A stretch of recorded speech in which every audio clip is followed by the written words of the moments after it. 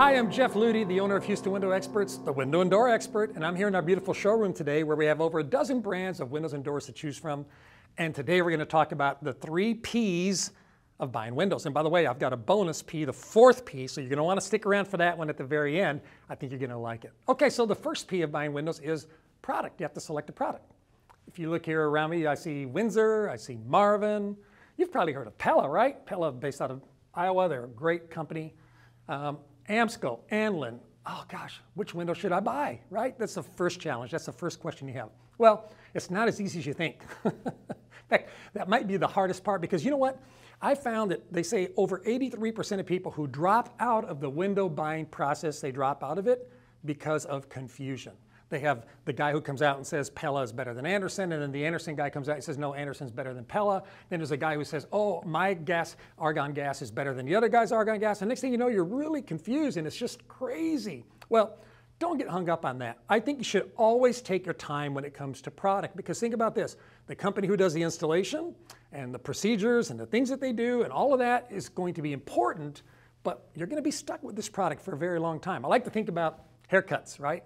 Imagine if you had a bad haircut. Oh, you could wear a cap and you'd hide and you'd cry for a month, but then your hair grows back. Well, that's not what happens when you buy the wrong window. So you've got to pick the right window. So you say, well, Jeff, how do I pick the right window? Well, one of the things that I see people make a big mistake on is they either spend way too much money on a window because they pick this really window that's supposed to like do everything, lots of bells and whistles, or they spend way too little money on a window and then they end up with a piece of junk. If you watch some of my videos, and I'm going to put a link down here below, about the top five mistakes people make when buying windows, I think that's really going to help you a lot. So that's the first P, is the product. You've got to find a product you like and a, a really a great product. The second P is the process, right? Because now that you have a window, somebody has to install it. I think about it all the time like this.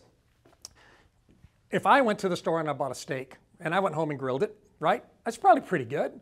But the same steak done by a professional chef in Las Vegas, like uh, Michael Mina, for example, oh my gosh, why does his steak taste so much better than mine? If, even if it was the same steak, it's because of his process, right? So process is the second P. Now, I want to show you a few things that we do in our process that I think are unique to us, and there's very few window companies that do this. The first one is this blue film right here. You say, what's that for, Jeff? Well, actually, we apply this to the window before we start taking the glass out because glass tends to break when you take it out. And the last thing we want is glass shards all over the floor, right? I tell people all the time, if you have a puppy or if you have a pool or if you have, uh, you know, a little child, they're going to find that glass when they're walking around barefooted. Can you imagine being in your pool and you cut your foot because somebody taking out your window did not protect the glass from getting everywhere? This does that. Now it takes a little extra time and it costs a little extra money, but it's really one of the steps that make the process even better. The second thing I like to talk about is shims, you know, because we use shims in those windows.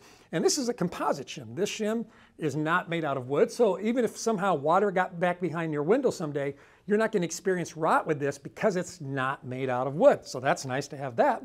Another thing we like to use is flashing tape. We actually apply this flashing tape to our window so that water doesn't ever get in behind that window. Because think about this, when you take out your original window, which was attached to the house at the beginning when it was built, now you've actually destroyed that seal that you had between your window and your house. So you want to reseal it again with this flashing. And I've got a good video on how to install a leak-proof window. I'll put a link to that down below. That'll help you as well. And then of course, once you've done that, then you want to seal it. And before you seal it with caulking, we actually like to inject this foam. This is made by OSI. It's called quad foam. It actually injects in air. It's a low expansion closed cell foam. The reason it's closed cell is it's real smooth once it cures. If water ever were to hit it, it doesn't absorb that water, it doesn't hold it, it doesn't start to build like mildew and mold and things behind your wall. So that's real important. But also, this creates like a donut all the way around, an insulating donut to help restore that seal that has been broken between the house and the window so that now you have a really good seal. What else does it do? Oh gosh, it keeps sound out, it helps reduce the amount of air infiltration, uh, bugs, dust, dirt, you know, a lot of things that can normally come in around that window if it wasn't sealed properly. So that's really important for you to have as well. And then of course, frosting on the cake, right? Uh, this is OSI Quad. This is the product that we put in there to your house, uh, Quad Max, to actually uh, put caulking around it. Now this is just really to make it beautiful because this has done all the work. All these other things actually did the work of keeping the water out. And this makes it look nice when we're done. It makes that transition between the house and the window frame look ah, just perfect. Now, one more thing I'm going to mention is when you are also looking about the process here um, and who's doing what, is like you should ask questions like, how are you going to protect my floors? And like, here's an example. We like these cover grips. It's a safety drop cloth. And you know, you can see how we label them up, right? So that way we put it, always put it up. So if we move it from room to room, we always have this side up, just in case a little bit of glass got around that blue tape. We're not gonna actually flip this over accidentally in the next room and end up scratching your floor with glass. So that's real important. But you should also ask questions like, who's gonna take the blinds down? Who's gonna put the blinds up? You know, uh, what time will you guys arrive? What am I responsible for? Do I have to move furniture? Are you gonna cover my furniture? Those are all part of this P, the second P. You, know, you get a good product, you got to get a good process. And then part of the process too is supervision. Like we have a crew leader who is actually over all of our crews and he's been trained, he's really good, he's certified at what he does. But we don't just stop there. We actually have a quality assurance manager who supervises their work, and we have quality assurance managers all over town that drop in on the different projects. They look at how things are going. They're making sure that our guys are being consistent to the brand promise that we made to you to treat your home with honesty and with dignity and with respect. And these are important things to us. So if they're going to sell your job to a, to a subcontractor to, to install, that's different than if you have an in-house team that's actually doing all the work and they're being supervised and the supervisors have supervisors because ultimately, right, you're the boss and we are the ones who have to answer to you. So that's the second P. Now here's the third P. Third P is the people. And I kind of hit on the people, right? Like who's doing the work, but I mean, I mean the people, like what's the DNA of this company? What do they believe? Why do they exist? What do they stand for? You know, like one of the reasons I started this company was I realized that there was a need for a company like ours that actually treated people the way they should be treated. I, guess I'm old fashioned. You know, I like that rule that says the golden rule, right? Do unto others the way you'd have them do unto you, which in modern English means treat people the way you want to be treated.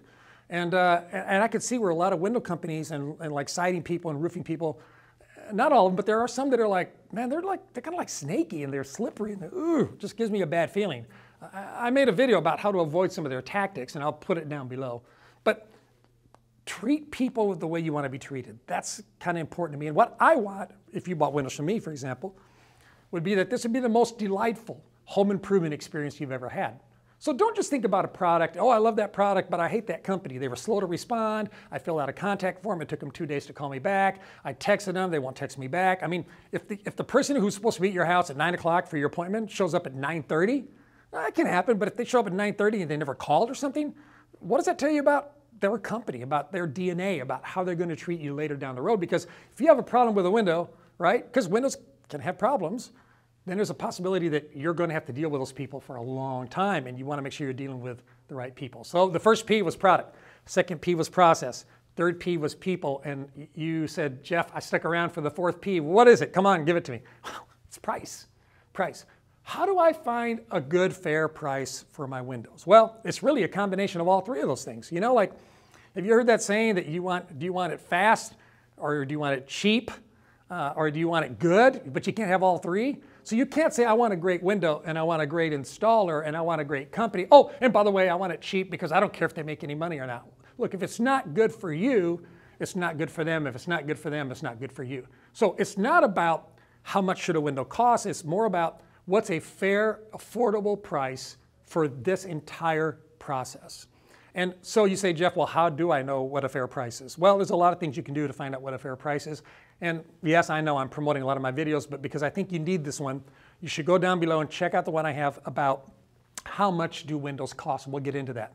But as an overall, overarching 30,000 foot view, you might find that one window company costs more than another, and the thing you need to investigate is, is it because of their product? Is it because of their process? Is it because of their people? Is that what's making this price the price it is? That's what you need to figure out.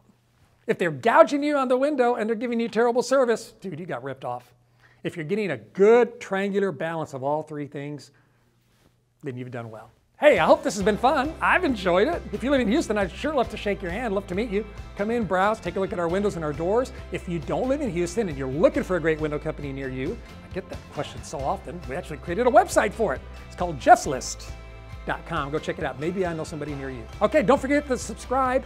And also, please smash that like button because this video gets shared with more people, which means that our channel will grow. And we appreciate you subscribing and watching. Thanks. Have a great day. I'll talk to you again real soon.